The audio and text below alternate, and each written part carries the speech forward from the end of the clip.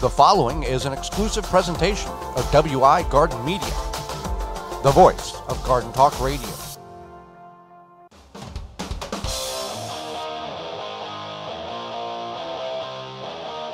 Coming up on the program today, we're going to go over storing your harvest the right way or the best way, and animals in the garden, how to deal with the good ones and get rid of the bad ones. Our guest will be host of PBS's Growing a Greener World, Joe Lamp'l, and will answer your garden questions. And that all starts right now.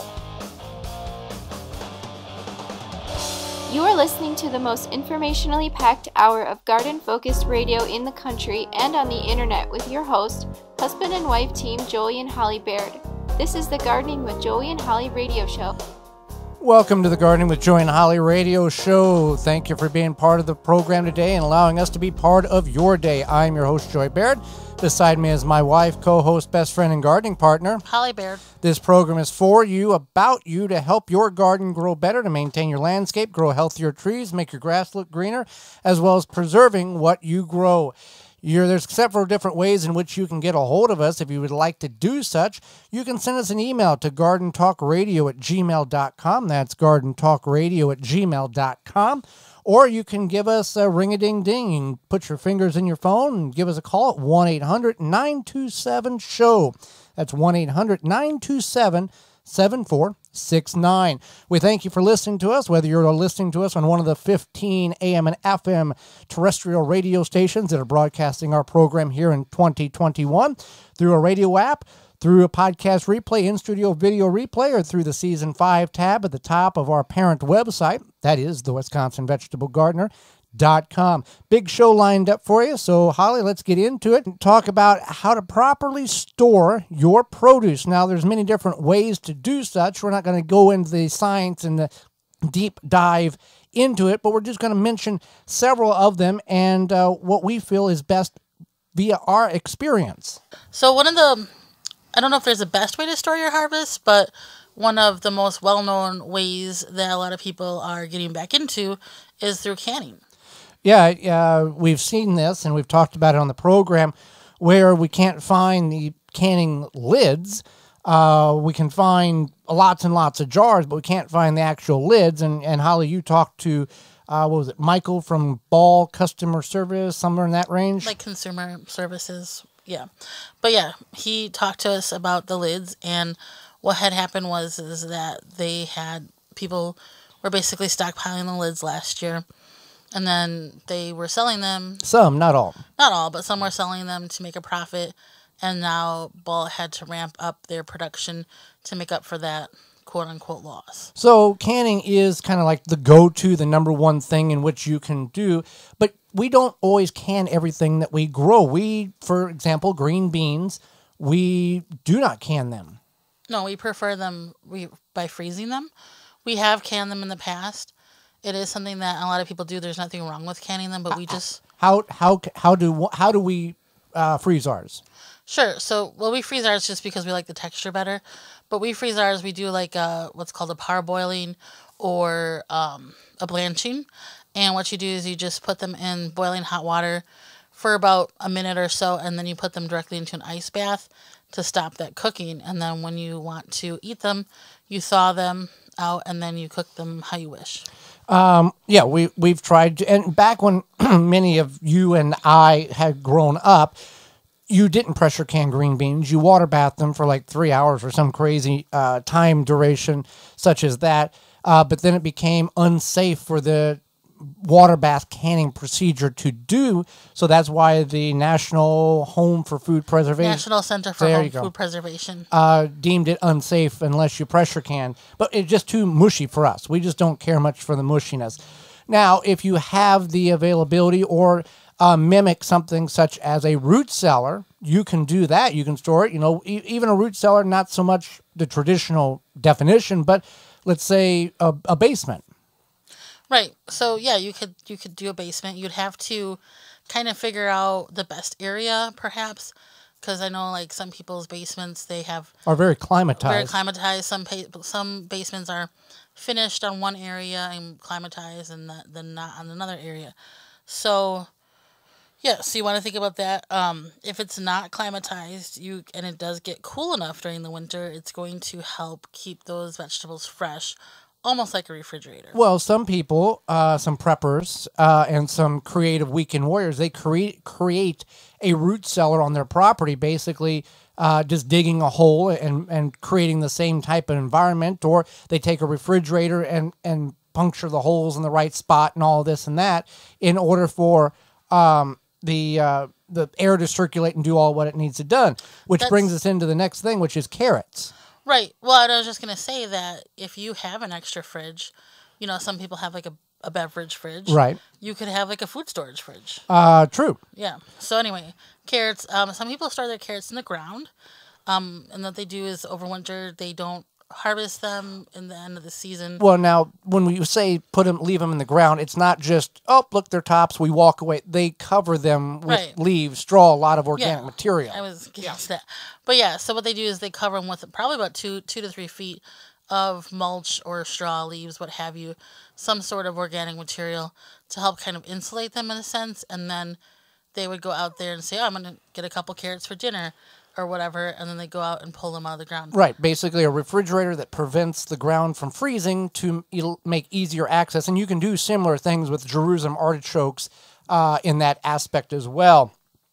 Now, Right. whenever we harvest these things, whether we are harvesting potatoes, carrots, Jerusalem artichokes, etc., you don't just hit them with the hose as soon as you harvest them, so they look all pretty for your picture.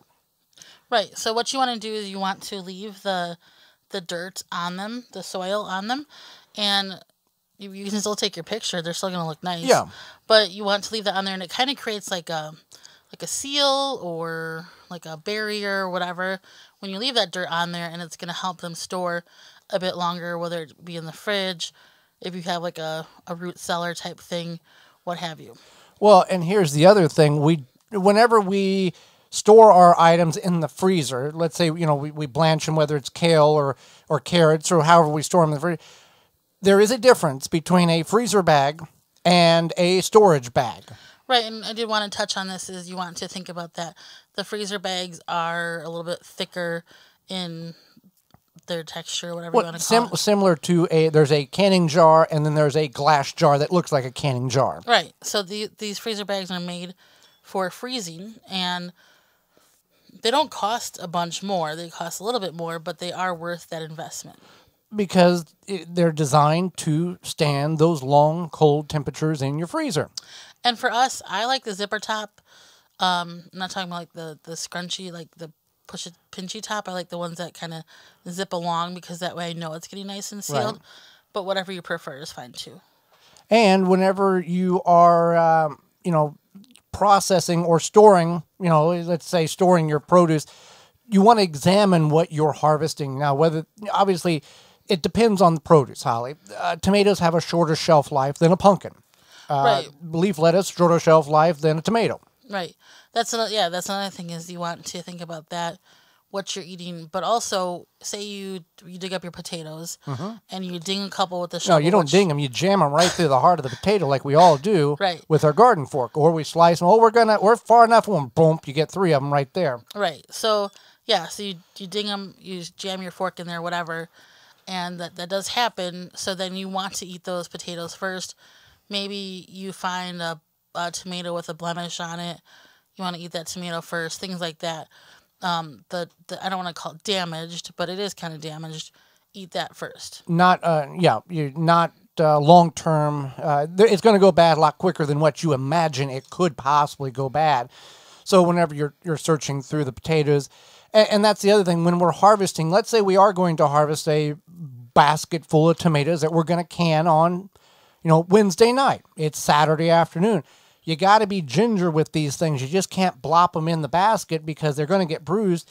And any slight bruise or blemish by Wednesday, you're going to have now not one moldy, rotten tomato. You're going to have three or four that all sat next to one another, and you've lost a good chunk of what you're intending to preserve in whatever fashion you were trying to save them. Right. Your your rotten friends are making other rotten friends.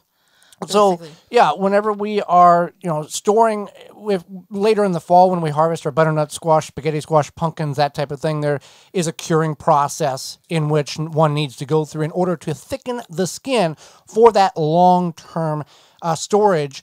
And with garlic, many people are harvesting garlic now. You can use that garlic right away, or you can do what is called a curing process and allowing the upper portion of the plant to dry and put more flavor and uh, flavor into the bulb and that will keep you for six eight months maybe nine months if things work out real well for you and then you can you know save the larger bulbs for the largest cloves for this fall's planting too. So everything, obviously, we can't cover everything to its uh, utmost uh, detail, but we can uh, kind of give you some guidelines on what to look for, what to do, what not to do when it comes to storing uh, the produce and what's coming out of your garden. I think the biggest thing is just keeping in mind how how you're going to use it, what's going to be best for you, what's going to make sense in your home, and what's going to be the most uh, convenient, essentially. Exactly. Well, what's most convenient and the smart thing to do is to purchase from Waltons Incorporated. Whether you are a butcher taking an animal from animal to edible, or you just need some phenomenal seasonings to impress your friends and family this summer when you're barbecuing back on the patio, porch, or deck, Waltons has all of that and more to suffice your needs. Listen, everyone, we know you care about where your food comes from, and canning and preserving, as we just talked about, your fruits and vegetables is great, but think about the meat.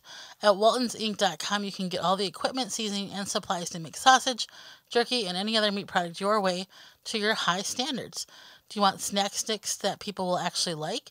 Walton's create, created meatgistics.com. It's an informational website to help you make the best finished product. They even have a full line of their own meat grinders, mixers, sausage stuffers, etc. to help you go from animal to edible. That's waltonsinc.com.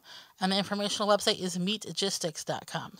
Well, when we come back, hang around. It's all about keeping the good animals in your garden and getting the bad animals out. You're listening to the Garden with Joey and Holly radio show, a program to help your garden grow better. Got a question for Joey and Holly? Send it via email anytime to gardentalkradio at gmail.com. Do your trees look sad? When we here at the Gardening with Joey and Holly radio show gardens have tree and shrub issues, Dr. JimZ is the product we reach for as it is the product that works. It really provides results. Their small batch, extra potent blend of readily available nutrients is exactly what your trees, plants, and bushes need to regain their health and stay bug free. It's super easy to use. It feeds the microbes and adds new life to your soil so you can grow stronger plants. Chemical free, environmentally responsible fertilizer that works. It will put a smile on you and your plants. To find out more about Tree Secret and other products, visit drjimz.com. That's D R J I M Z.com. Chip Drop is a website you can sign up for free wood chip mulch delivery right to your door for free. Chip Drop connects homeowners and gardeners with tree services who are trying to get rid of their wood chips. You can also sign up to get free logs and firewood. Go to chipdrop.com to learn more and sign up for a free account. CousinsCompost.com offers a full range of compost and vermicomposting supplies, including the new Royal All Natural Worm Bedding. Shop Cousins Compost for composting worms, worm castings, indoor and outdoor worm bins, and compost bins. Use coupon code REDWORM21 for 10% off your order at cousinscompost.com. Deer Defeat is an all natural repellent to keep deer, rabbits, and groundhogs away from your precious plants. Deer Defeat protects your plants day and night, dries clear, and odorless. It will not clog your sprayer. Deer Defeat works for 30 days through rain, snow, and freeze. Safe, effective, and works on rabbits. Money back guarantee. To purchase, go to deerdefeat.com and use code RADIO to save 10% on your order. Deer Defeat, it can't be beat. Looking for a non toxic fly control? Call the Bug Farm 1 800 248 BUGS. Bugs. The number one key to healthy, productive plants are the roots. Starting from seed to full grown plants, rootmaker.com has the answer. From seed starting trays with an innovative design that air prunes the roots, creating a fabulous root system, never again will you have root bound plants to multiple gallon grow bag sizes to raised beds. Rootmaker.com has your grow needs covered. visit rootmaker.com. Use coupon code RADIO21 and get 15% off your entire order. The Gardening with Joey and Holly radio show is brought to you by the following Pro Plugger, Dripworks, Waltons Incorporated, Tree Diaper, Janie's Mill, Phyllom BioProducts, Chapin Manufacturing Incorporated, Nature's Lawn and Garden Incorporated, Deer Defeat, Dr. JimZ, Rootmaker. Find all sponsors at the WisconsinVegetableGardener.com and thank them for their support. Welcome back to the Garden with Joey and Holly radio show. Thank you for allowing us to be part of your day today. Well, let's talk about watering. Let's talk about rain. Well, many parts of the country are not having that type of uh, availability. So, Tree Diaper can help you with that situation in your garden. Well, right now or before tree diaper, watering shrubs, bushes, and other trees was not your favorite job on your property, let's be honest. But with Tree Diaper, it's not really a job. Tree Diaper is a revolutionary watering system that slowly releases stored rainwater when plants need it. The Tree Diaper is filled with water from rain or when you water and slowly releases water over three weeks. No pipes, hoses, or electricity needed. Whether you're a first time gardener or advanced, Tree Diaper will improve the way you water your plants. Every time it rains, Tree Diaper recharges. Made in the USA. Check out all the sizes they have available at treediaper.com. That's treediaper.com. So many people have problems with uh, animals in their garden. Now, now, so there's some animals that we're happy to have in our garden: animals, insects, butterflies, birds, uh, bees, ladybugs, that type of thing. But there's also in, uh, animals and insects that we don't want in our garden. So we're going to cover some of the animals that we want not in our garden, and some of them that we do in order to kind of keep things balanced. Uh, but first we want birds in our garden. Many people are like, no, no, I want to get birds out because they're pecking holes in this and they're destroying that. Some birds do that. Some birds, that's just part of their nature. However, uh, if you incorporate enough, uh, and it's not 100% foolproof, but if you create enough of an environment for them, uh, they will some most of the time leave things alone for you to enjoy your garden and they can enjoy your garden as well. We've got bird feeders set up. Right. So we have the bird feeder set up. Also when when birds are pecking holes into your tomatoes or any other kind of watery fruit, a lot of times they're just looking for water. So you could create a bird bath. You could just take like a a shallow, um, larger bowl and put some rocks in there and some water, and that will give them a place to get some water, things like that. Yeah, we fill our bird feeders full with Wild Delight bird food.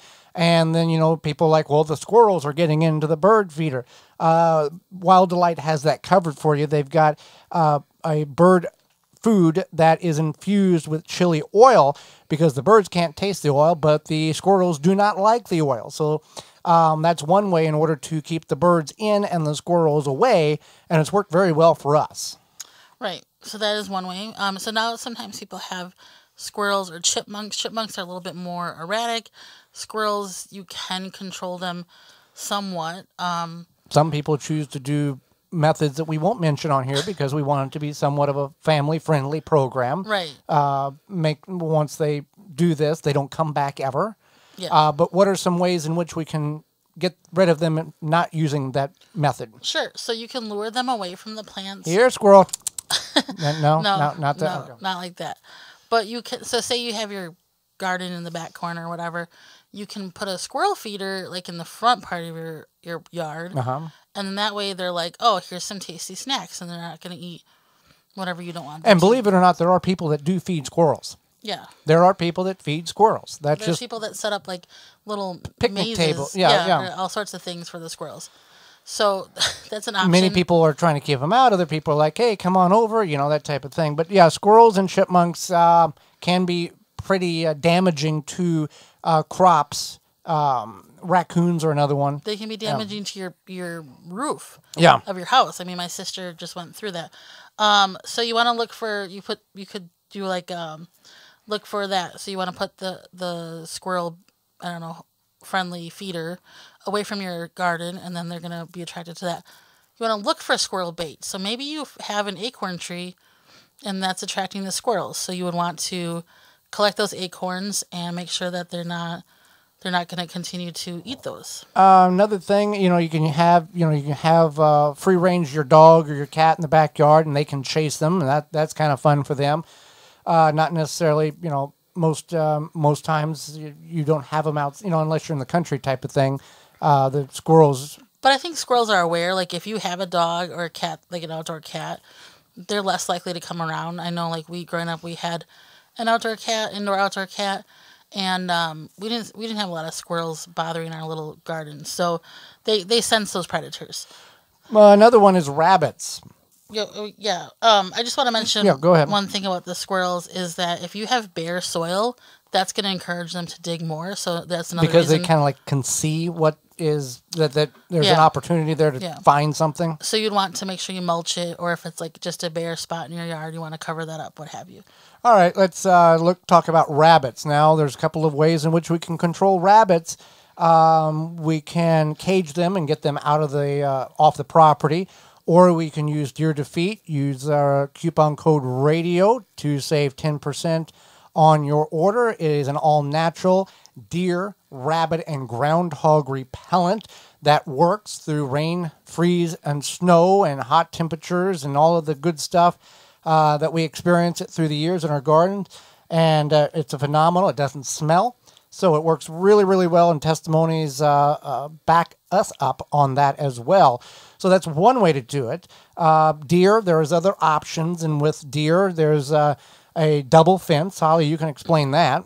Actually, on rabbits, Oh, um, you're going to go back to rabbits. Okay. yeah, I think people don't want to do this because it's an investment. But when before we had the raised beds, we had an in-ground garden, Right. and we invested in however many feet of chicken wire, Uh, about 250 feet of poultry wire, two foot high poultry wire, one inch hexagon uh, Yeah. size. But it was worth it. It kept the rabbits out. Oh yeah, it's amazing how quickly your green beans and your cucumbers will grow when they're not getting eaten down every evening by the neighborhood rabbits. Right.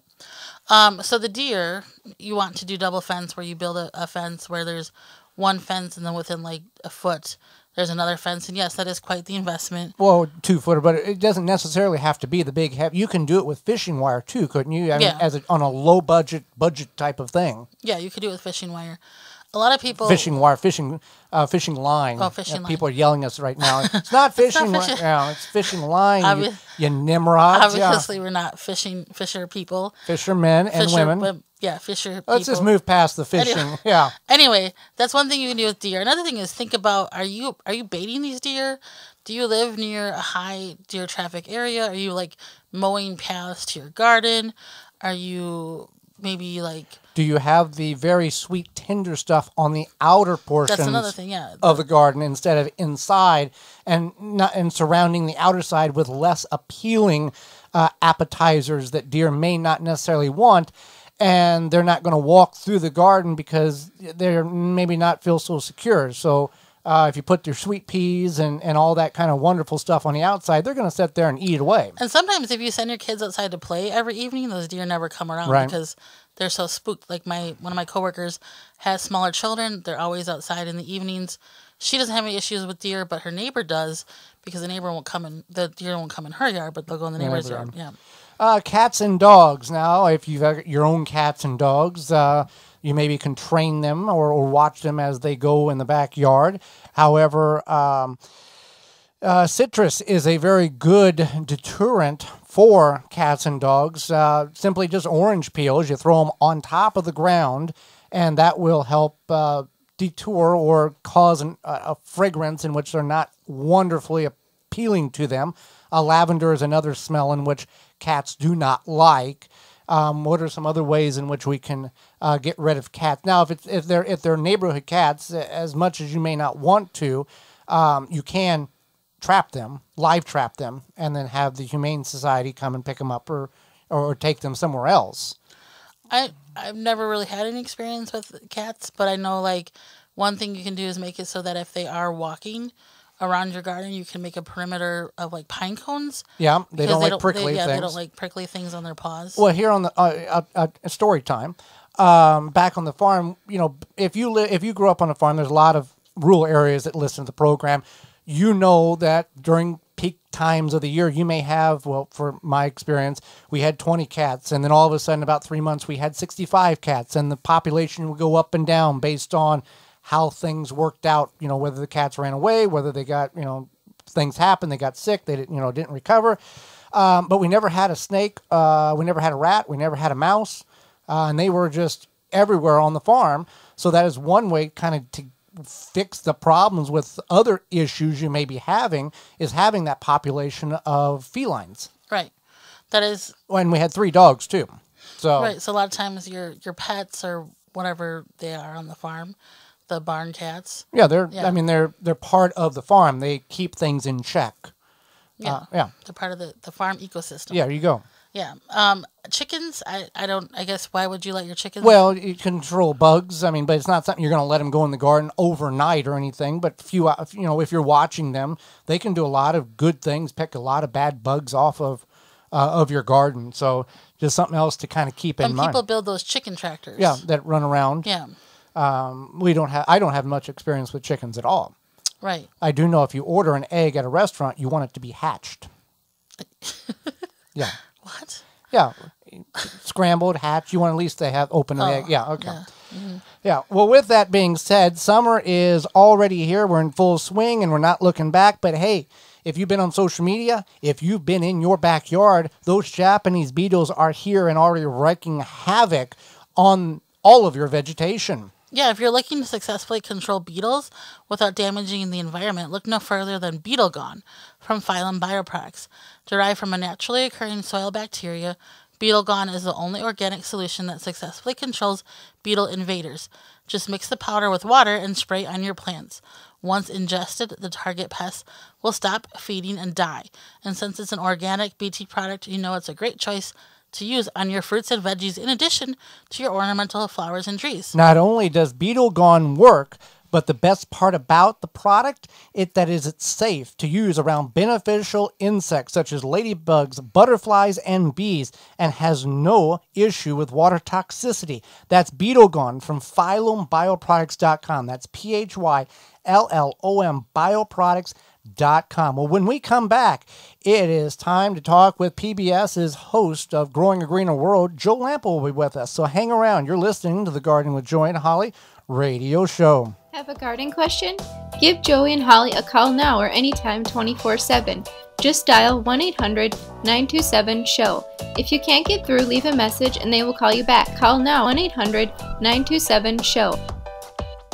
This week's garden tip is brought to you by Yard Glider, the cart without wheels, loads without lifting, hauls more, dumps faster, built to last, and built for hard work. Multiple sizes available at yardglider.com. That's yardglider.com. Mowing your grass high, 3 to 4 inches, has many great benefits. One, it shades out weeds. It also reduces the evaporation from the soil as it produces shade, and there's many beneficial insects that can live and thrive in that tall grass. It promotes establishment of large root systems, which is more drought tolerant. The clippings can also fall through the grass, not be seen, and feed the soil.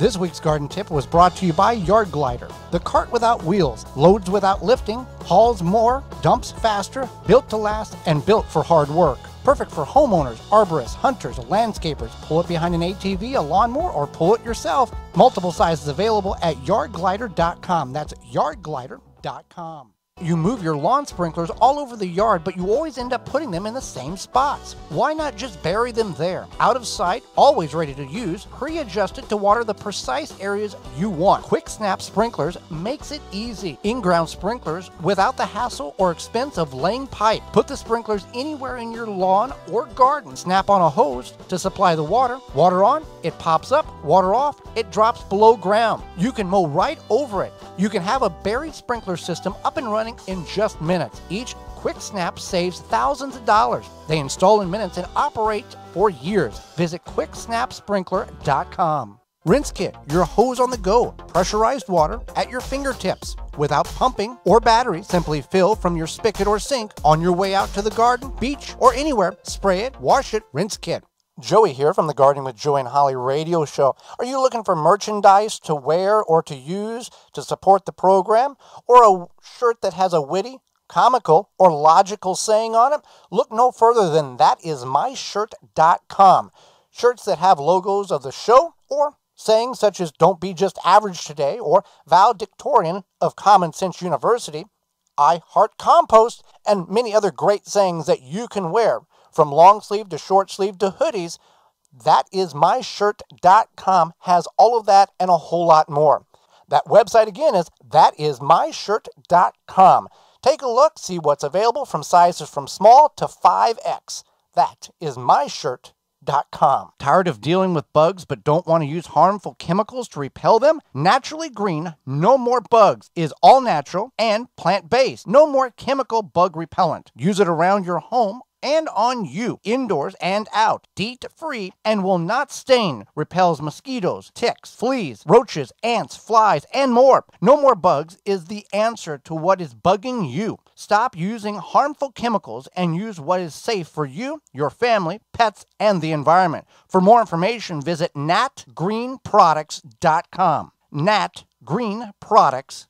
natgreenproducts.com. Soul Brew Kombucha is founded and handcrafted in Milwaukee, 100% organic, formulated for ultimate health and enjoyment. Find out the benefits of drinking kombucha and where to purchase at mysoulbrew.com or find them on Facebook at mysoulbrew. Protect your plants against damage with a 3 in 1 plant guard and special blend fertilizer. Visit ivorganics.com. The Gardening with Joey and Holly radio show is brought to you by the following Simply Earth, Seed Savers Exchange, Quick Snap Sprinklers, Water Hoop, Timber Pro Coatings, Bloomin' Easy Plants, Pomona Universal Pectin, Ivy Organics, Tiger Torch, Happy Leaf LED, SeedLinked. Find all sponsors at the WisconsinVegetableGardener.com and thank them for their support. Welcome back to the Gardening with Joey and Holly radio show. Moment, moments away Joe Lamp'l will be with us. But first, you got Japanese beetles flying around. We got a product from Rescue that can uh, get them under control and eliminate them. Yeah, Japanese beetle traps, when used properly, draw beetles away from your plants and trees. The trick is to hang, hang them 30 feet from plants you want to protect. That way, you can lure the beetles away from the areas where they cause damage and trap them.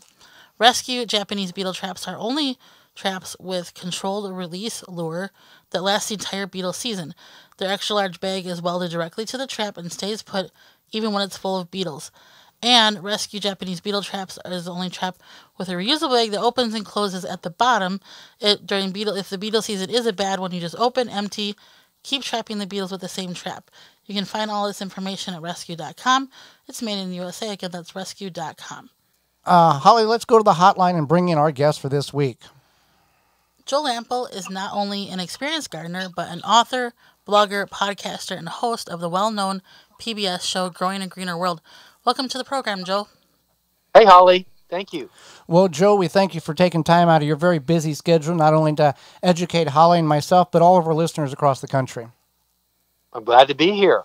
Well, let's start off with some tomato problems. You experienced uh, a couple of issues recently with your tomato patch, and why don't you share that story with you and how you figured out the diagnostics of what the issue was? Yeah, boy, I tell you, no two years are the same, right? So um, I started noticing wilt on one of my plants that had grown really well, was producing a lot of tomatoes, and then suddenly it just started wilting and i was scratching my head about it because i'm aware of soil-borne diseases that can cause wilt such as verticillium or fusarium or southern blight. But as i was watering at the base of the plant with my watering wand which i often do because i enjoy hand watering and it gives me a chance to stare my plant down and notice any changes. But i was putting pressure on the soil with the end of my watering wand and the watering wand was just easily going into the soil. Whereas, you know, normally you would think it would just stop at the base and stop. But it was like sinking in. And then I was watching the soil and it was like imploding around my plant. And I'm like, what the? And so the more I pushed the wand into the soil, the easier it was for the wand to continue to go and penetrate deeper into my raised beds, which are 18 inches. And I thought, something's not right here. And I pretty much knew right away at that point what it was because I'd seen mole tunnels between my beds, which only told me that they were probably burrowing underneath the the wood to get into the all you can eat buffet of worms in my soil. And so you know, it's like submarines in the ocean that are, you know, about to fire these these these um, torpedoes that are going to take out whatever their target is. And in my case, the tor- the submarines were the moles, and the torpedoes were just there gnawing through the roots and eating the worms and make wreaking havoc underground in that soil food web. And it was really wreaking havoc on my plants. And so uh, that's what happened. And I kept watering, hoping that I would get some recovery and the roots would re- regenerate and so forth. But in the case of a couple plants, that just never happened. So I haven't taken them out yet because I haven't had the heart to do it, but I'm ready to throw in the towel on those. And then on the other ones that had wilt, I had southern blight, which is a bacterial disease that uh, is soil borne. And it comes from just a buildup over time of, you know, planting the same family in the same location too many years in a row. And I raise my hand to that as being guilty because I love growing tomatoes and I don't have an unlimited space to do it. So I defy the odds, or I think I can, and put the same plants in the same location year after year. And sure enough, it comes and, and bites me.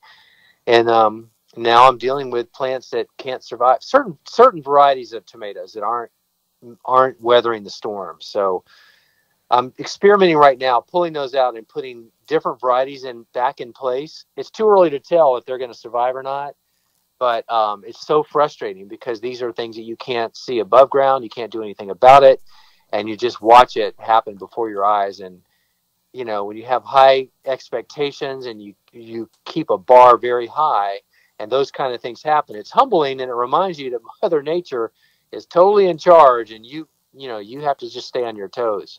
Now, two questions in regards to that. One, how many years do you feel or do you know it's safe to plant the tomatoes in the same spot? And then with a problem such as this, do you take that and turn that into a teaching lesson for the, the television show? Yeah.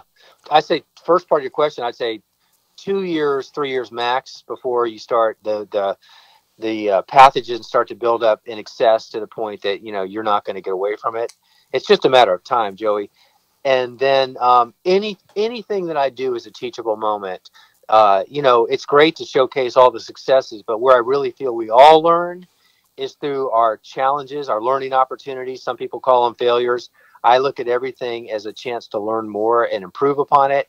And so, if I can have those learning opportunities like anyone else, all the better because I'm in a I'm in a, a position of high exposure. And so a lot of people can learn from my mistakes and i'm happy i'm happy to make them on their behalf you know because if i can share what i discovered and how i learned what i learned and how to correct it or make improvements all the better. And you know i don't i don't have an ego such that i'm a beyond you know sharing what i'm learning too. We're all in this together. And the thing is we're all making mistakes or you know these opportunities. And as long as we share what we observed and what we're trying to do to fix it, and especially if we do figure it out, all the better. I mean, we all need to do that more often. You know, we need to let our pride go and again remember that we're not in charge and just um, we're always learning. And to me, that's one of the most fascinating and most inspiring parts of gardening is that the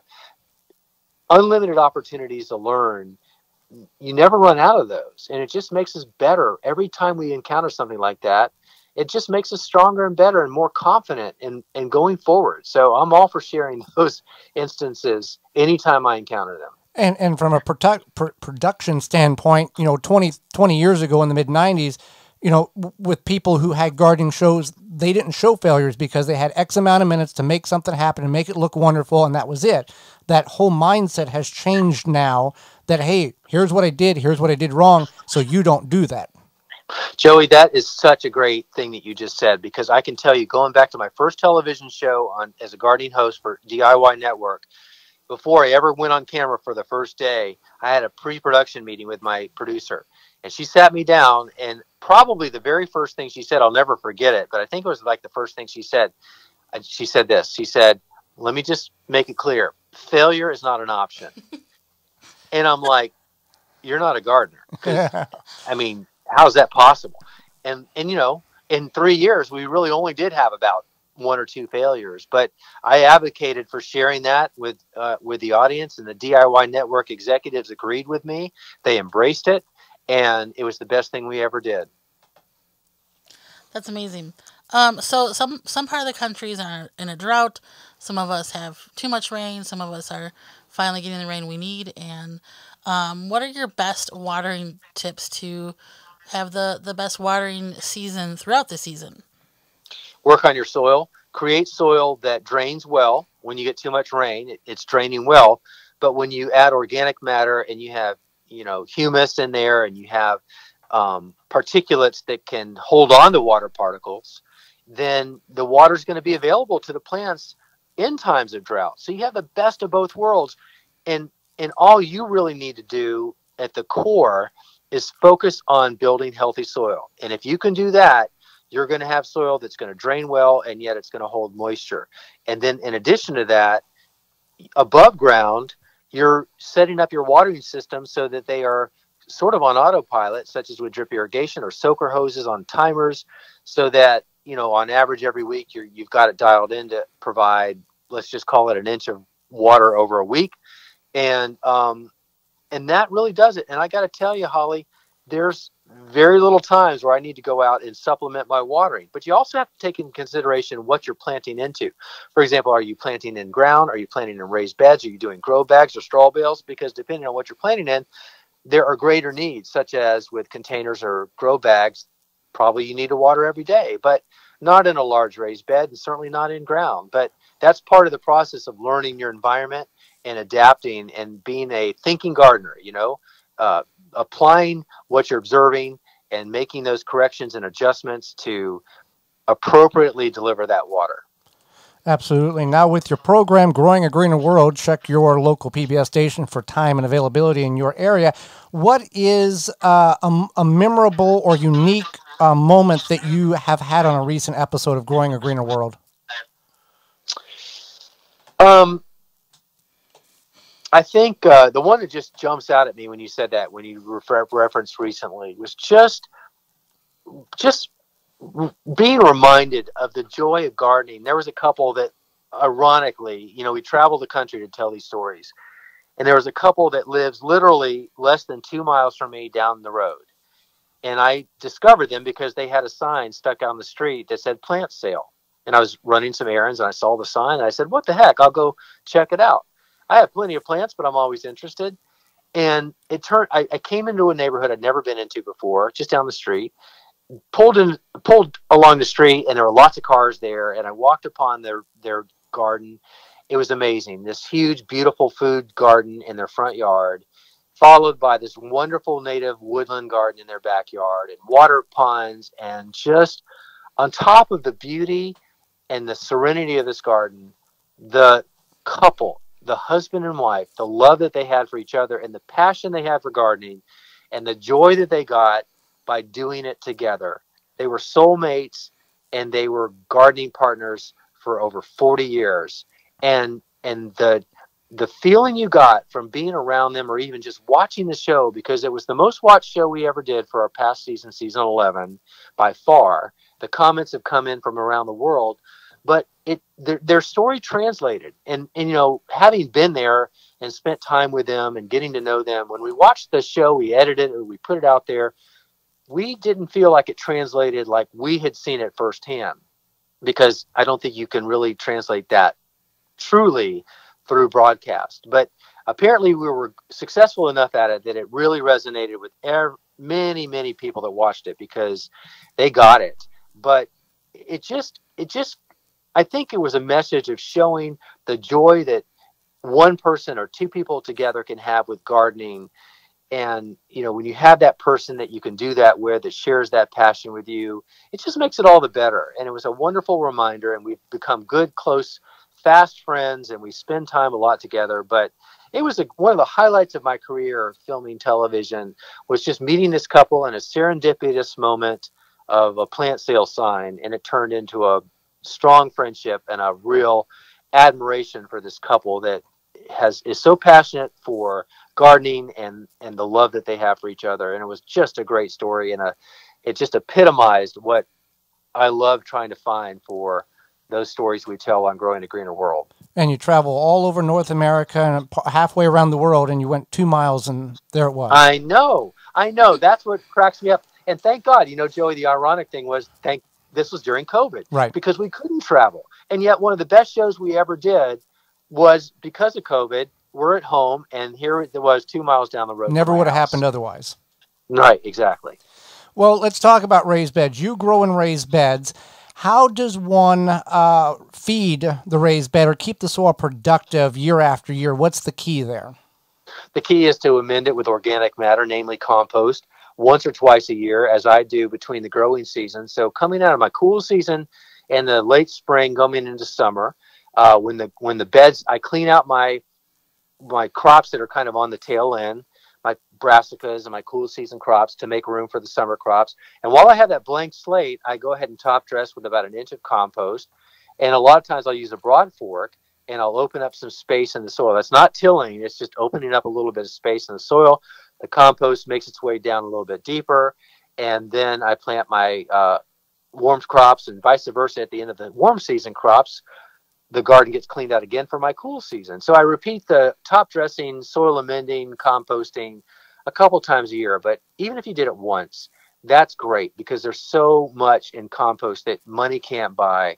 The microbiology, the nutrients, the microbes, all of those things that work symbiotically in the soil to feed the plants. So you're you're amending the soil, so you're feeding the soil, and then the soil is taking care of feeding the plants by providing soluble based food that the roots can access as needed because you have created that environment for the soil biota to go to work and make that happen. So it's not so much fertilizer, Joey. It's not like feeding the plants with synthetic fertilizer. You're feeding the soil with what nature intended for them to have that allows them to get the nutrients they need and the texture and the tilth and the drainage and the and the moisture retention. All of those things happens because you just focus on good organic matter, namely compost. Now, do you feed your plants with an organic fertilizer or do you rely on that compost to do that feeding? Yeah, for the most part, I rely on the compost, but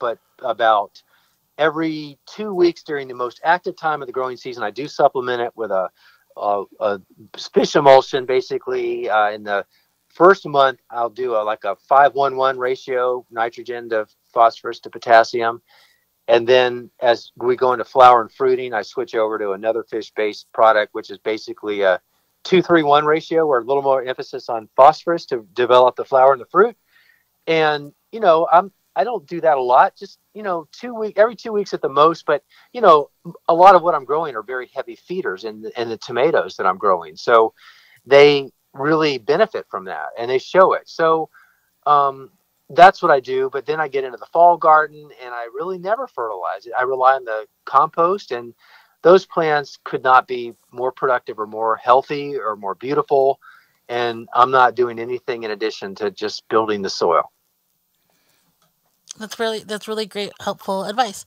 So we really enjoyed having you on on the show. Um, how can people find out more about you and all of your great, wonderful gardening information? joegardener.com is is the place where you can probably find everything else you need to know. We link to a lot from the main website, and then my Instagram handle is at Joe Gardener, and I'm active there. And so those are a couple of good places to find me. Yeah, and then the Joe Gardener Show podcast. and and, and the uh, Instagram, you do a lot of uh, videos and take you know straight out in the garden, and people have questions, and you, you try to answer them right there on the spot. So very interactive.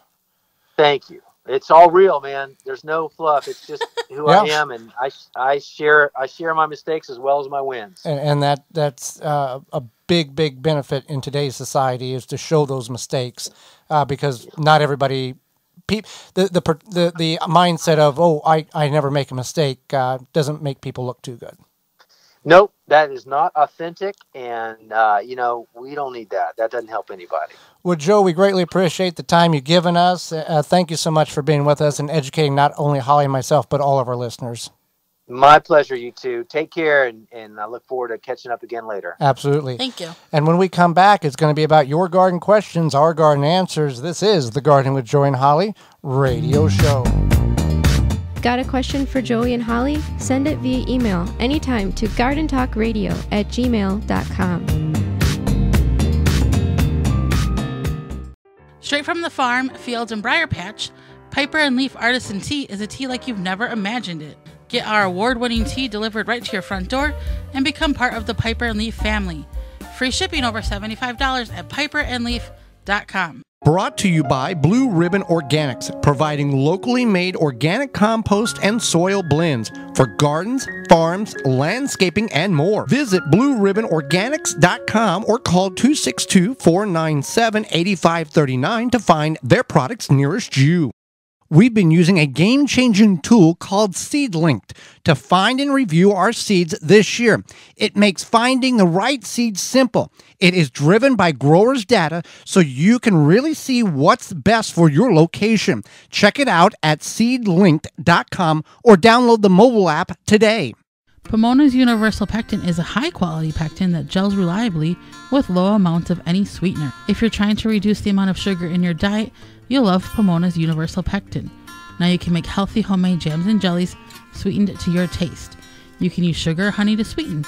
Pomona's Universal Pectin keeps indefinitely when stored in an airtight container. Easy to use, versatile, and comes with directions and recipes in every box. Find out more and where to buy at PomonaPectin.com.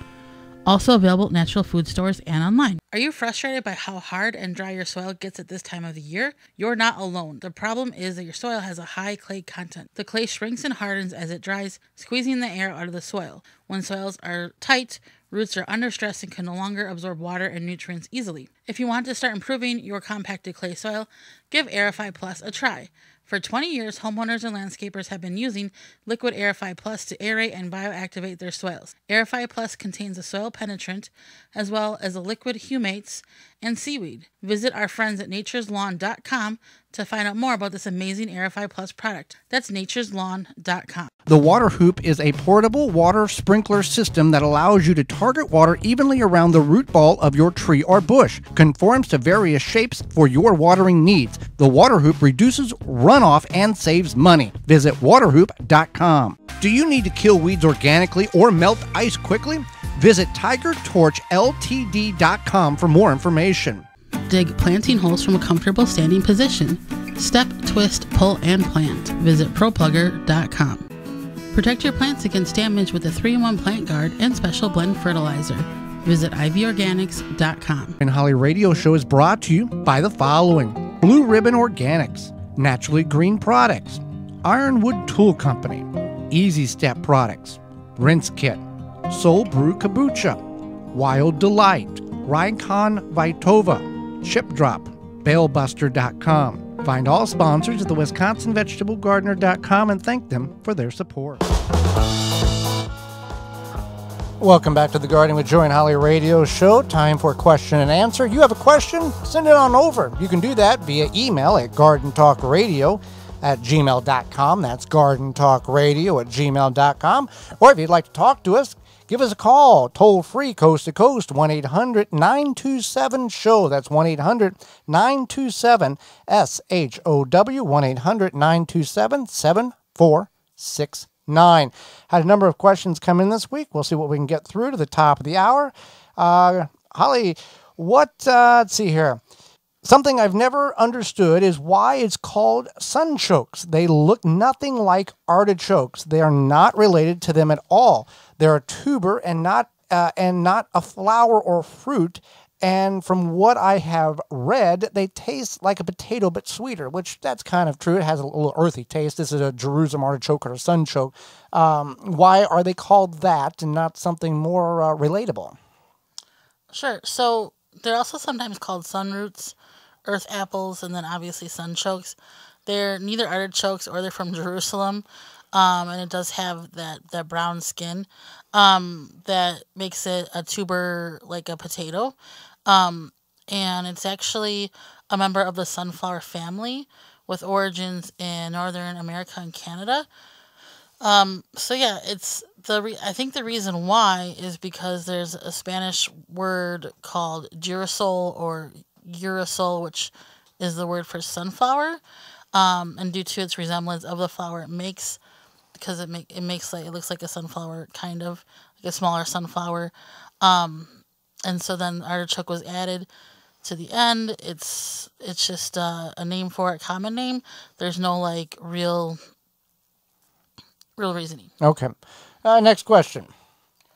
Jeremiah, listening to us on Wham 1600 out of Ann Arbor on his way to work, he says, I don't do much gardening, but actually enjoy your show when driving to work on the weekends. We planted a little garden with some basic vegetables in it, and it's doing quite well in some of the raised beds. Uh, but I was wanting to try some pumpkins for my six year old.